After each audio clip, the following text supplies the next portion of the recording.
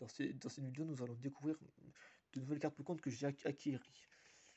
Alors en, premier, nous avons Pikachu volant VMAX 310 PV de type électrique qui attaque à Palomax à 160 PV de dégâts. Ensuite, nous avons euh, euh, nous avons Tyrannosif et euh, Ténéfix 280 PV de type Ténèbres qui attaque à Ready Rush qui attaque à Ready Rush à Gigafall GX 250 PV. Ensuite, nous avons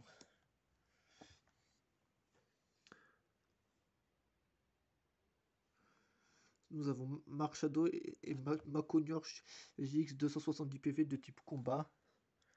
Qui attaque à Revenge.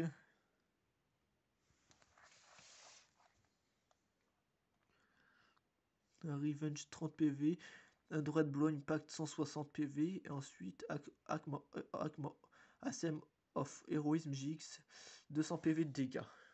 Ensuite, nous avons Maconior, GX 250 PV de type combat qui attaque à Crosscut, à Bedrock Breaker, c'est à Muscle Punch GX 180 PV de dégâts. Ensuite, nous avons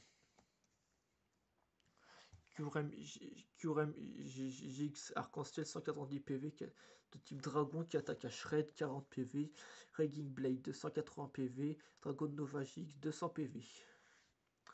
Ensuite, nous avons Amphinobi Turbo 170 PV qui attaque à Shuriken. Ça, ne fait aucun dégât. Ne fait pas de dégâts, mais elle a tous des intérêts stratégiques. Surtout sur la possession de cartes. Nous avons Hipporoi X, 170 PV qui attaque à Forte Tempête, 20 dégâts, Draco Traîné. 60 dégâts, 60 dégâts de base plus 30 dégâts supplémentaires pour chaque énergie électrique de base attachée à ce Pokémon.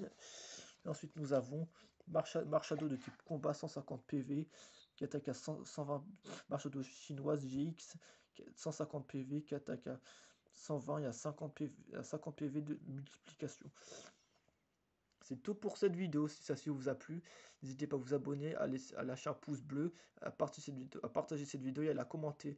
Car euh, effectivement, les, commentaires serviront à, de futures vidéos. Merci. C'était Sofiane Lauer et bye bye à la prochaine.